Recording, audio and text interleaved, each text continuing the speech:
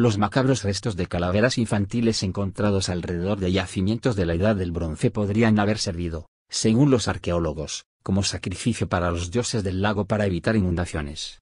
En la década de los años 1970, cerca del lago de Constanza, en la frontera entre Suiza y Alemania, un equipo de arqueólogos de la Universidad de Basilea, Suiza, comenzó con la excavación de restos arqueológicos de asentamientos pertenecientes a la Edad del Bronce, tres asentamientos en concreto que fueron descubiertos en 1854. Entre los descubrimientos excavados se encontró todo tipo de herramientas de caza, huesos animales, cerámica, joyería, estructuras de vigilancia y defensa, entre otras cosas. Sin embargo, lo que más llamó la atención a los arqueólogos fue el hecho de hallar restos de calaveras de niños pequeños acumuladas en distintos puntos alrededor de los poblados.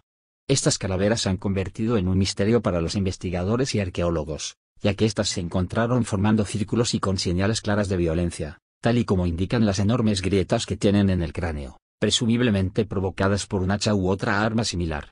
Lo curioso de las calaveras de estos tres poblados es que no se hallaron en lugares al azar, sino que todas fueron decolocadas en puntos orientados al lago.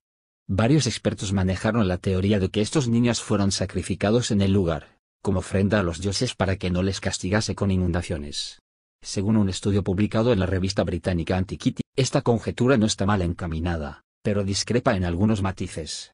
En aquella época, los habitantes de estos poblados habrían sufrido varias inundaciones a lo largo de su vida debido a la proximidad de sus asentamientos al lago de Constanza, aparte de combates, robos e invasiones entre los propios poblados. Es por eso que las estructuras halladas demuestran que estaban diseñadas como método de defensa y para protegerse de las fuertes lluvias.